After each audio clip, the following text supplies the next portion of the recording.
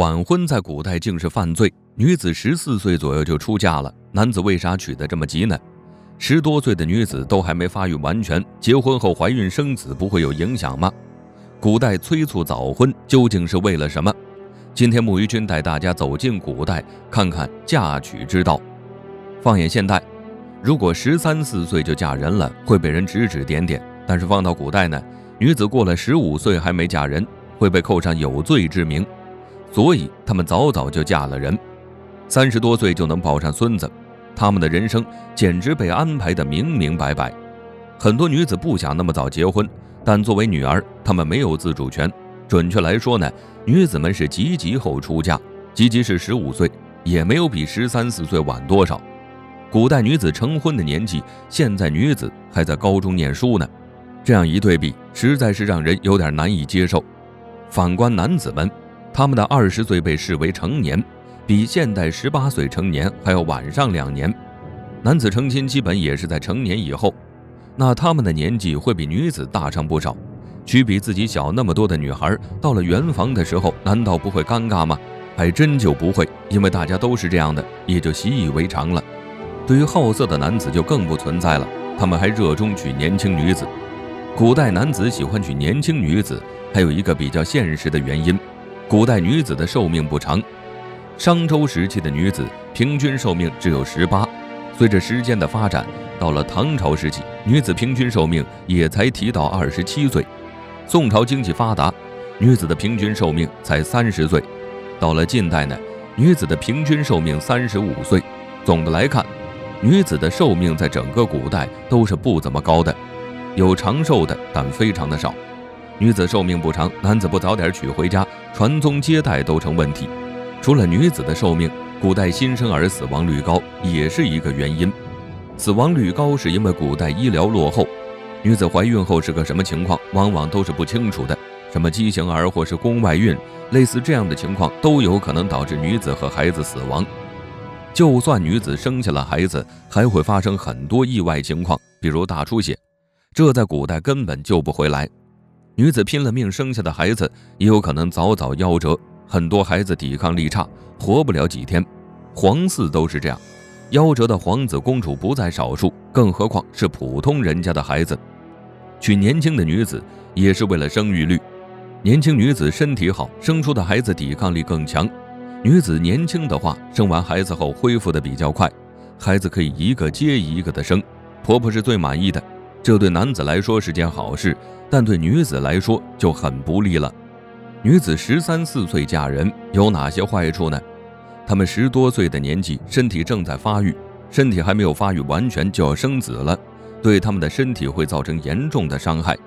发育的过程中需要营养，如果在这个时候怀孩子，会消耗女子，很容易造成一尸两命的情况。既然女子早婚有如此多的危害，为什么不晚一点嫁人？虽然古代大多数女子都嫁得很早，但不完全是。在周朝时期，女子成亲的年龄是二十岁，这个年龄还是很合适的。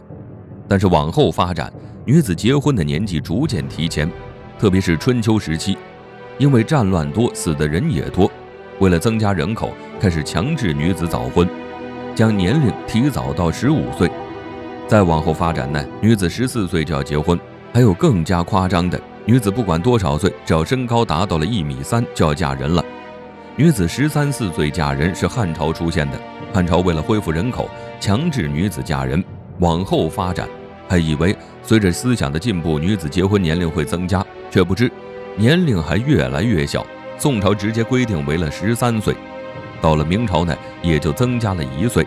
因为很多朝代都规定十三四岁，所以才有了古代女子十三四就嫁人的说法。各朝各代规定是有，但规矩是死的，人是活的，也可以不那么早结婚。但是呢，在一些朝代会受到处罚，超过十八岁还没结婚的，会连累到父亲和母亲，父母被扣上教女不严的罪名。汉朝有一个规定，要是女子到了嫁人的年纪没嫁的，要交单身税，而且数额不小，一年五十多两，这可是普通人家小半年的口粮。为了不出这个钱呢。就算家中女儿不愿嫁，父母也会往死里逼，这都不算什么。西晋时期，女子不嫁人的，官府就会出动为其择人嫁了。但是个什么人，那就由不得你了。可能是个流浪汉，也有可能是个缺胳膊少腿的，还有可能是个老头。负责的官员不管你嫁得如何，他们只管完成自己的任务。这也导致女子不得不早早的选择人嫁了。有些朝代啊，就连寡妇都要管。死了丈夫的女子已经是嫁过人的，但是为了提高生育率，规定寡妇还要再嫁。古代把结婚年龄定得那么低，也不是说到了年龄才能嫁人。如果想早嫁人的孩子一出生就能将其嫁出去，这叫童养媳。统治者怕的是你不结婚，不怕你结婚过于早，因为这些规定使得女子不得不早嫁。女性在封建社会中地位低下，没有什么话语权。像武则天和吕后这样的女人是少之又少，她们都是有大智慧的女子。古代为什么会有那么多苦命的女子？因为她们思想闭塞，不敢冲破枷锁。武则天和吕后在早期也是这样的女子，后面她们有了权力，才能做她们自己想做之事。而古代的统治者要规定女子成亲的年龄，是因为他们面临一个很现实的问题，那就是人口。一个朝代要想走得长远，那一定要有人，这样边防才能稳固，经济才能发展。皇室中人都是三妻四妾，皇帝的后宫更是佳丽三千。他们不仅是为了皇位的传承，更是给天下人做表率。这样呢，百姓也就无话可说了。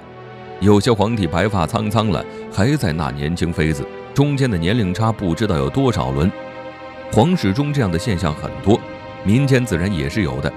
八十岁的老者娶十五岁的女子，还为其生子，这种现象，在男人当权的古代看似都是合情合理的。如果上了年纪的女子，嫁了一个年轻的男子，在古代才是一件不值得的事，因为他们觉得女子就该任人摆布，老妻少夫那是有违天道的。所以说，古代男女是不平等的，凭什么男子就能多娶，女子就不能嫁了再嫁呢？古代女子只要丈夫没死，就要一直守着；有些丈夫死了，也要守寡到死，往后不能再嫁。战争也是让女子早嫁的原因，打仗太过频发，死的人就会变多。战国时期，秦军对抗赵军，最后赵军战死四十多万，损失了这么多人，赵国很难东山再起。不可抗的自然因素也会造成人口锐减，比如天旱和洪涝，还有瘟疫的爆发，这些啊都是造成人口骤减的原因。人口减少了，就要想办法恢复人口，任务就到女子身上了。所以，古代女子一生就是一窝，只要能生，那就使劲儿生。养不起就过得穷点家中男孩长大后又被朝廷收入军队，上场对抗敌人，就这样循环往复，女子成了生育的工具。人口增多，统治者还有一个目的，就是增加朝廷财政收入。朝廷有钱了，才能进行基础建设，皇帝也更能享受些。古代生产力本就低下，有地如果没人种，那就是损失；有了人，这些问题都能解决。唐朝能有鼎盛时期，其中一个原因呢，就是他们人口多。唐朝人口最多是有八千多万，有人一个朝代才有无限的可能。但是这一切，女子承担了太多，她们还没有好好享受青春年华，就拖家带口。有些女子更是被孩子拖累死了，草草的结束了一生。此前对人世间没有丝毫留恋，那活这一遭又有什么意义呢？所以。如今才会如此注重女权，谁不想精彩的活一次？晚婚不是罪，结不结婚都是自由。